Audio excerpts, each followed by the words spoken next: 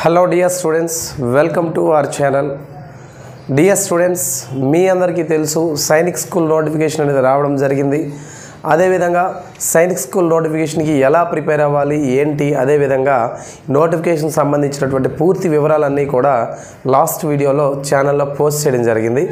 Yes ఇప్పుడు కూడా Sainik school exam అనేది జనవరి ఇరవై ఒకటి. అంటే చాలా కొద్ది రోజుల సమయం ఉంది కాబట్టి మీకు ముందు చెప్పిన విధంగానే నాయుడు స్టడీ సర్కిల్ విజెడ్ఎం అని పిలుస్తున్నటువంటి యాప్ ఏదైతే ఉందో ఈ యాప్ అనేది గూగుల్ ప్లే స్టోర్లో మీకు అవైల్ అవుతా ఉంది. గూగుల్ ప్లే స్టోర్ నుంచి డౌన్లోడ్ చేసుకున్న తర్వాత స్టోర్ ట్యాబ్లో మీకు సైనిక్ స్కూల్ కోర్స్ కోర్సెస్ అదేవిధంగా నవోదయ వాటికి సంబంధించినటువంటి కోర్సెస్ అన్నీ కూడా డిస్ప్లే అవుతాయి. సో దానిని మీరు పర్చేస్ చేసుకున్నట్టయితే కనుక అప్ టు ఎగ్జామ్ దాకా మీకు ఏంటంటే మనకి అన్లిమిటెడ్గా వీడియోస్ అనేవి ఏవైతే ఉన్నాయో ఎన్నిసార్లు అయినా చూడొచ్చు కంటెంట్ అంతా కూడా ఉంది. దాన్ని మీరు యూటిలైజ్ చేసుకోండి. రైట్ మరి ఎగ్జామ్ దగ్గర పడతా ఉంది కాబట్టి మీ ఎగ్జామ్కి మ్యాథ్స్తో పాటు అర్థమెటిక్ రీజనింగ్తో ఇంటెలిజెన్స్తో పాటుగా మనకి జీకే కూడా మేజర్ రోల్ అనేది ప్లే చేస్తూ ఉంటుంది. దట్ ట్వంటీ ఫైవ్ క్వశ్చన్స్ ఉంటాయి మనకి ఫిఫ్టీ మార్క్స్ సైనిక్ సంబంధించి. ఎస్ ఇందులోనే మన జీకే సిలబస్ ఏదైతే ఉందో జీకేలో భాగంగా ఈరోజు మనం ఏం చేస్తామంటే ఇండియా అండ్ ఇట్స్ లొకేషన్ అని చెప్పేసి టాపిక్ రైట్ అండి? ఓకే ఈరోజు టాపిక్ ఏంటంటే ఇండియా అండ్ ఇట్స్ లొకేషన్. ఇది గతంలో కూడా ఈ టాపిక్ నుంచి ప్రశ్నలు వచ్చినటువంటి సందర్భాలు ఉన్నాయి. కాబట్టి జాగ్రత్తగా గమనించండి. రైట్ నాన్న? అయితే ఈరోజు ఇండియా అండ్ ఇట్స్ లొకేషన్లో నేనేమంటానంటే సాధారణంగా ఓకేనండి? సాధారణంగా ఎర్త్ అనేది ఏదైతే ఉందో ఓకేనా? ఎర్త్ అంటే భూమి అనేది ఏదైతుందో ఉందో ఈ ఎర్త్ అనేది గుండ్రంగా ఉంటుంది లేదా that is in the shape of sphere or spherical shape so spherical షేప్లో ఉంటుంది అని చెప్పేసి మనం చదువుకున్నాం. సో భూమి అనేది గుండ్రంగా ఉంటుంది అని. మరి భూమి గుండ్రంగా ఉంది అని చెప్పడానికి మనకి ఏమైనా మోడల్ ఉందా? అంటే ఏదైనా ఒక మోడల్ ఉందా అంటే కనుక లేదా ఏదైనా ఒక మ్యాప్ రూపంలో చూపించగలమంటే ఎస్ ఉందనే చెప్పాలి. సో భూమి అనేది గుండ్రంగా లేదా స్పెరికల్గా ఉంది అంటే మనం దేనిని యూస్ చేసి చెప్తామేనమ్మా? గ్లోబ్ని యూస్ చేసి మనం చెప్తా ఉంటాం. దేనండి గ్లోబ్ని. సో గ్లోబ్ అనేది ఏదైతే ఉందో గ్లోబ్ అనేది గుండ్రంగా ఉంటుంది. అది మనకి ఎర్త్ అనేది గుండ్రంగా ఉంది అని చెప్పడానికి ఒక మోడల్గా మనం చెప్తాం. అందుకే గ్లోబ్ అనేది రియల్గా ఉందంటే రియల్గా లేదు. ఇది ఒక మోడల్. మోడల్. దాన్ని తెలుగులో నమూనా అని చెప్పేసి అంటారు. Globe itself a model. మరి ఈ మోడల్ అనేది ఏం ఇండికేట్ చేస్తూ ఉందండి? భూమి గుండ్రంగా ఉంది అని చెప్పేసి మనకి ఇండికేట్ చేస్తూ ఉంటుంది. ఓకేనా? సరే ఇక్కడ మనం గుండ్రంగా ఉంది అని చెప్పేసి అనుకున్నాం కాబట్టి ఇగోండి గుండ్రంగా ఉంది కాబట్టి నేను గుండ్రంగా ఉన్నట్టు నేను చూపిస్తా ఉన్నా. ఎస్ భూమి అనేది గుండ్రంగా ఉంది. అయితే భూమి ఏర్పడింది అని చెప్పడానికి భూమి ఎప్పుడు ఏర్పడింది ఏంటి? అంటే four fifty million years ago earth అనేది ఏర్పడింది అని చెప్పేసి మనం అంటూ ఉంటాం. అయితే ఈ భూమి అనేది ఎలా ఏర్పడింది సార్? అంటే బిగ్ బ్యాంగ్ థియరీ ఏదైతే ఉందో బిగ్ బ్యాంగ్ థియరీ ఏదైతే ఉందో ఈ బిగ్ బ్యాంగ్ థియరీ మనకు చెప్తా ఉంటుంది. భూమి అనేది ఎలా ఏర్పడింది ఏంటి అని చెప్పేసి ఈ బిగ్ బ్యాంగ్ థియరీ చెప్తుంది. మరి ఈ ఇక్కడ ఉన్నటువంటి బిగ్ బ్యాంగ్ థియరీని ఎక్స్ప్లెయిన్ చేసినటువంటి సైంటిస్టుల్లో ఒకరెవరంటే లీ మైటర్ అని పిలిచేసి మనం ఒక ఒక పేరు చెప్తాము. లీ మైటర్ అంటాం. ఈ లీ మైటర్ ఎవరైతే ఉన్నారో ఈ బిగ్ బ్యాంగ్ థియరీ గురించి ఎక్స్ప్లెయిన్ చేయడం జరిగింది. అయితే ఇప్పుడు ఈ ఎర్త్ అనేది గుండ్రంగా ఉంది లేదా స్పెరికల్గా ఉంది అని చెప్పేసి మనం అన్నాం. మరి గుండ్రంగా లేదా స్పెరికల్గా ఉన్నటువంటి ఎర్త్ మీద మనం జనరల్గా ఒక ఒక ప్లేస్ని మనం గుర్తించాలి అంటే ఓకేనమ్మా? ఏదైనా ఒక ప్లేస్ని గుర్తించాలంటే ఇక్కడ ఎక్కడ డాట్ ఉందని చెప్తే నువ్వేం చెప్పగలవండి?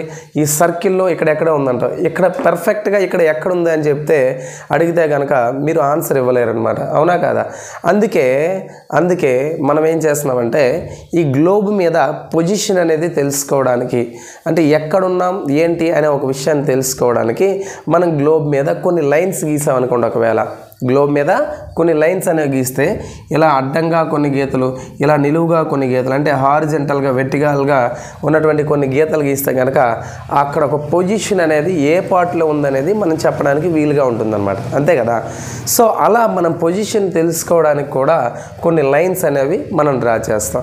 అయితే ఇలాంటి లైన్స్ అనేవి ఏవైతే ఉన్నాయో ఈ లైన్స్ అనేవి నేనేమంటానంటే ఈ లైన్స్ని ఇమేజినరీ లైన్స్ అని చెప్పేసి నేను అంటాను. ఏమంటానండి?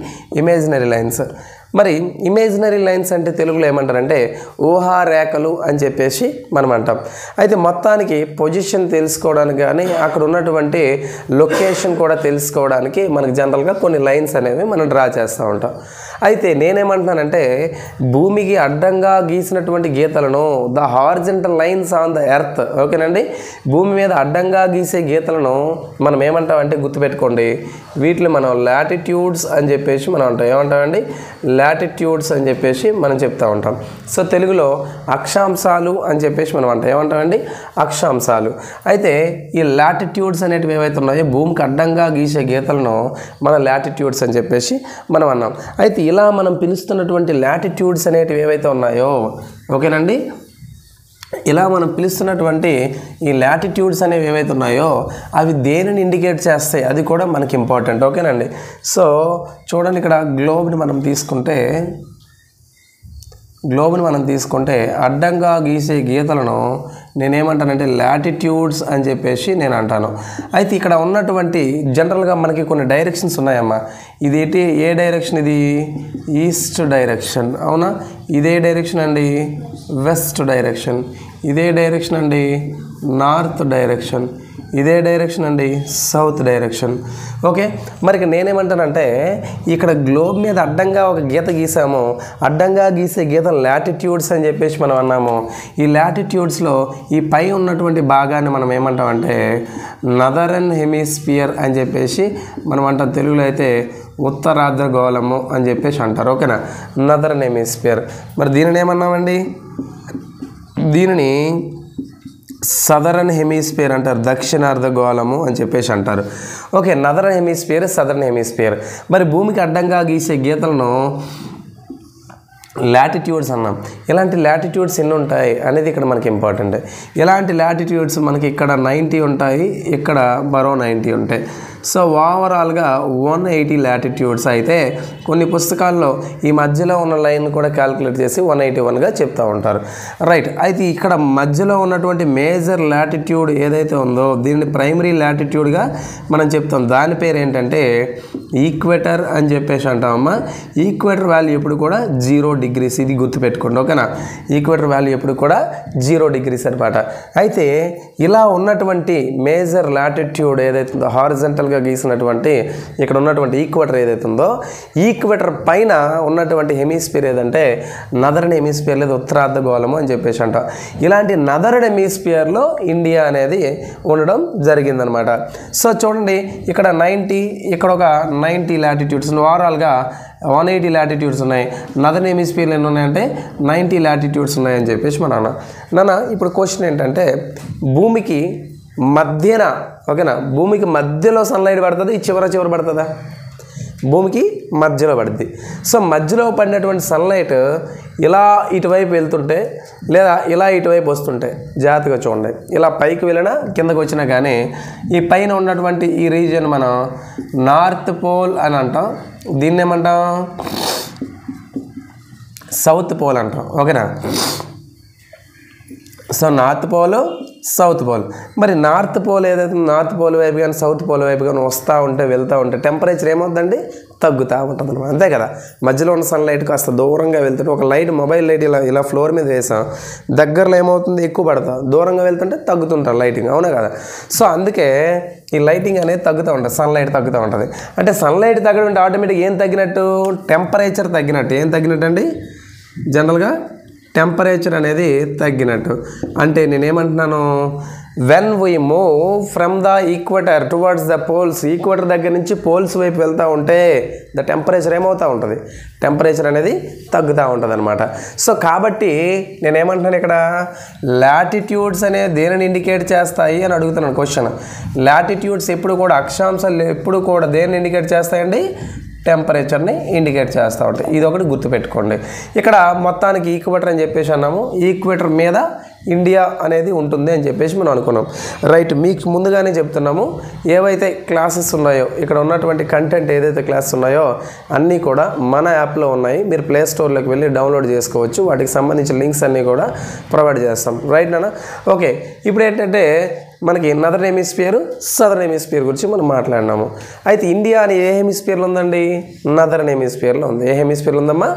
నదర్న్ హెమిస్ఫియర్లో ఉంది. ఈక్వేటర్కి వాల్యూ ఎంత? జీరో డిగ్రీస్ ఈక్వేటర్ నుంచి పోల్స్ వైపు వెళ్తున్న టెంపరేచర్ ఏమవుతూ ఉంటుంది? తగ్గిపోతూ ఉంటుంది అనమాట అవునా కదా? సో ఇది గుర్తుపెట్టుకోండి. ఇప్పుడు నేనేమంటానంటే ఇక్కడ ఉన్నటువంటి ఇండియా మ్యాప్ ఒకసారి మనం డ్రా చేద్దాం. ఓకేనమ్మా? ఇండియా మ్యాప్ ఒకసారి డ్రా చేద్దాం. జాతికి ఇది నోట్ చేసుకోండి. ఓకేనా? రైట్ నాన్న. మరి ఇక్కడ మీరు ఇండియా మ్యాప్ ఒకసారి చూద్దాం. చెప్పండి గ్లోబ్లో latitudes according to the latitudes India అనేది ఏ హెమిస్ఫియర్లో ఉందమ్మా? ఇండియా అనేది ఏ హెమిస్ఫియర్లో ఉందంటే ఈ పైన ఉన్నటువంటి పార్ట్లు. దీన్ని ఏమన్నా మనం? నదరన్ హెమిస్ఫియర్ ఉత్తర అర్ధగోళము అని చెప్పాను అవునా? Northern hemisphere. సో ఇండియా కింద ఈక్వేటర్ ఉందా? ఇండియా మీద ఉందా? ఇండియా క్రింద ఈక్వేటర్ ఉన్నట్టు. ఎందుకంటే నదరన్ హెమిస్ఫియర్లో ఇండియా ఉంది కాబట్టి. ఓకేనా? సో ఇగోండి కింద ఉంది. ఈక్వేటర్ వాల్యూ ఎంతనా ఈక్వేటర్ వాల్యూ ఎప్పుడు కూడా జీరో డిగ్రీస్ గుర్తుపెట్టుకోండి. ఓకేనా? జీరో డిగ్రీస్ ఇప్పుడు నేనేమంటానంటే ఈక్వేటర్ నుంచి ఇలా పైకి వెళ్తూ ఉంటే ఇండియా ఉంటుందా లేదా? ఇండియా స్ట్రైక్ అవుతా లేదా? అయితే ఎక్కడ స్ట్రైక్ అవుతుంది? అంటే మనకు నదర్ హెమిస్ఫియర్లో ఎన్ని లాటిట్యూడ్స్ ఉన్నాయి మొత్తం? నైంటీ ఉన్నాయి కదమ్మా. ఏనమ్మా నైంటీ లాటిట్యూడ్స్ మరి ఇక్కడ నుంచి ఇలా మనం పైకి వెళ్తాం? జీరో డిగ్రీస్ నుంచి ఇలా ఇలా ఇలా వెళ్తుంటే ఏమైందంటే నాన్న ఇండియాకు సంబంధించి ఒక ఒక ప్లేస్ ఇలా మనకి స్ట్రైక్ అయింది. ఇలా లైన్స్ మనం గీసుకొని వస్తే ఇలా లాటిట్యూడ్స్ డ్రా చేసుకొని వస్తే సరిగ్గా ఇక్కడికి వచ్చేసరికి six degrees forty five minutes India ఏ హెమిస్ఫియర్లో ఉందమ్మా? నార్త్లో ఉందా? సౌత్లో ఉందా? ఈస్ట్లోనా వెస్ట్లోనా నార్త్లో ఉంది. అందుకే six degrees forty five minutes north అని అంటాను నేను. ఓకేనా? రైట్ మళ్ళీ ఇక్కడ నుంచి ఇలా పైకి వస్తే ఇండియాకి సంబంధించి మరొక ప్లేస్ ఉంది నాన్న ఇక్కడ. సో ఇదేంటో తెలుసా? ఇక్కడ మరొక ప్లేస్ ఉంది. దీన్ని నేను ఏమంటానంటే లక్షద్వీప్ అని చెప్పి నేను అంటున్నాను. ఏమంటున్నానమ్మా? లక్షద్వీప్. సో లక్షద్వీప్ వచ్చేసరికి ఇక్కడ వాల్యూ ఎంత ఉండండి ఇలా ఎన్ని లాటిట్యూడ్స్కి వచ్చిందంటే సరిగ్గా ఎయిట్ డిగ్రీస్ ఎంతమ్మా ఎయిట్ డిగ్రీస్ నార్త్ చూడండి. సో ఫస్ట్ ప్లేస్ ఎంతమ్మా? సిక్స్ ఫార్టీ ఫైవ్ మరి ఇక్కడ ప్లేస్ ఏంటనుకున్నారు? అండమాన్ అండ్ నికోబార్. ఏదైనా అండమాన్ అండ్ నికోబార్. మరి అండమాన్ నికోబార్లో మళ్ళీ స్పెసిఫిక్గా ప్లేస్ ఉంది నాన్న. దాన్ని మనం ఏమంటాం? గ్రేట్ నికోబార్. ఏదండి? గ్రేట్ నికోబార్. గుర్తుపెట్టుకోండి అమ్మా. గ్రేట్ నికోబార్. ఇది. ఓకేనా? గ్రేట్ నికోబార్ అన్నాం. సో ఇక్కడికి వచ్చేసరికి లక్షద్వీప్. లక్షద్వీప్లో మళ్ళీ ఇంకా స్పెసిఫిక్ ప్లేస్ ఏదైనా ఉందంటే మినికాయ్ ఐలాండ్ అని చెప్పి అంట. ఏమంటామమ్మా మినికాయ్ ఐలాండ్ అని చెప్పండి గుర్తుపెట్టుకోండి. ఓకేనా?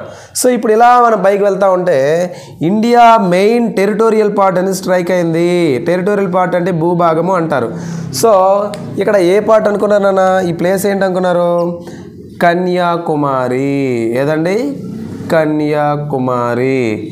కన్యాకుమారి ఏ స్టేట్లో ఉంది నాన్న? తమిళనాడులో ఉందన్నమాట. సో తమిళనాడులో ఉన్నటువంటి కన్యాకుమారి ఇక్కడ నుంచి వస్తున్న లాటిట్యూడ్స్ మెయిన్ ల్యాండ్కి వచ్చేసరికి స్ట్రైక్ అయింది. అయితే ఇక్కడ వ్యాలీ అంత eight degrees forty five minutes north ఓకేనమ్మా? అర్థమైందా? So eight degrees forty five minutes నార్త్కి వచ్చేసాం. ఇలా మనం పైకి వెళ్తూ ఉంటే ఇక్కడికి వచ్చేసరికి thirty seven degrees six minutes north వరకు ఎక్స్టెండ్ అయ్యిందమ్మా. ఓకేనా? బిట్ ఇప్పుడు. ఇక్కడ ఎయిట్ ఇక్కడ థర్టీ సెవెన్ సిక్స్ అంటే నియర్లీ థర్టీ ఎయిట్ తీసుకోండి. సో థర్టీ ఎయిట్లోంచి ఎయిట్ తీస్తే ఎంతమ్మా? థర్టీ. సో క్వశ్చన్ ఏంటి? How many latitudes are there that passes through India India కూడా ఎన్ని లాటిట్యూడ్స్ వెళ్తాయమ్మా? ఇండియా కూడా ఎన్ని లాటిట్యూడ్స్ వెళ్తాయి? సో థర్టీ వెళ్తాయి అనమాట అదొక ఇంపార్టెంట్ బిట్ మరి ఇక్కడ northern most southern most point of India ఇండియాకి లాస్ట్ పాయింట్ ఏంటంటే మనకి ఇక్కడ కనిపిస్తూ ఉంటుంది. దీనిని మనం ఏమంటామంటే ఇందిరా పాయింట్ అని అంటామమ్మా ఏమంటామమ్మా? ఇందిరా పాయింట్. లాస్ట్ పాయింట్ అనమాట ఇండియాకి సంబంధించి. ఇండియా ఇందిరా పాయింట్కి మరొక పేరేంటో తెలుసా? పిగ్మోలియన్ పాయింట్ అని అంటారు. ఏమంటారమ్మా? Pygmalion point. లేదా దీనికి ఇంకో పేరు ఏంటంటే పార్సన్ పాయింట్ అంటారు. లేదా దీనికి ఇంకో పేరు ఏంటంటే లాహున్ చింగ్ పాయింట్ అని చెప్పి అంటారమ్మా. గుర్తుపెట్టుకోండి. మరి ఇండియాకి top most northern and most point of India. అంటే దాన్ని మనం కిలికి దావన్ పాస్ అని అంటాం. ఏమంటామా కిలికి దావన్ పాస్. లేదా దీన్నే మనము ఇందిరా కాల్ అంటాం. ఏమంటామా ఇందిరా కాల్. గుర్తుపెట్టుకోండి. అయితే last bit. Indian red equal ఆఫ్గా చేస్తున్నటువంటి లైన్ ఏమైనా ఉందా? అంటే లాటిట్యూడ్ ఏమైనా ఉందా? అంటే ఇగోండి ఇలా పాస్ అవుతూ ఉంటుంది. ఇక్కడ నోట్ పాయింట్ రాస్తుందని గుర్తుపెట్టుకోండి. Note point. నోట్ పాయింట్ ఏంటంటే ఆల్వేస్ ఎప్పుడూ కూడా లాటిట్యూడ్స్ అనేవి ఈస్ట్ నుంచి వెస్ట్కి మాత్రమే గీయాలి. అది ఇంపార్టెంట్ పాయింట్. అంటే అటు నుంచి ఇటు. ఎందుకంటే సన్లైట్ ఇటు వస్తుంది కదా. అంతే కదా? మనం టెంపరేచర్ గురించి మాట్లాడుతున్నాం కదా. ఓకేనమ్మా ఇలా లైన్. సో ఇక్కడి నుంచి ఇక్కడికి వచ్చేసరికి ఇగోండి కరెక్ట్గా twenty three and half degrees north ఇక్కడి నుంచి ఇగోండి థర్టీ ఎయిట్లో ట్వంటీ త్రీ తీసిన ఫిఫ్టీన్ వచ్చింది. మనకి ఇక్కడ ఎయిట్ ట్వంటీ త్రీ తీసుకున్నా మనకి ఫిఫ్టీన్ వచ్చింది. అంటే ఇండియా రెండు ఈక్వల్ ఆఫ్గా చేస్తున్నటువంటి లైన్ ఏదైతే ఉందో అది twenty three and half north latitude దాని పేరు మనం ఏమంటామంటే ట్రాపిక్ ఆఫ్ క్యాన్సర్ అంటాం అంటే కర్కట రేఖ అని చెప్పి అంటారు. ఓకేనా? సరే ట్రాపిక్ ఆఫ్ క్యాన్సర్ గుండా ఎన్ని స్టేట్లు ఉంటాయి అనేది కామెంట్ బాక్స్లో కామెంట్ పెట్టండి. దీని కంటిన్యూషన్ వీడియో అనేది నెక్స్ట్ మనం డిస్కస్ చేద్దాం. రైట్ నాన్న? Thanks for watching this video thank you very much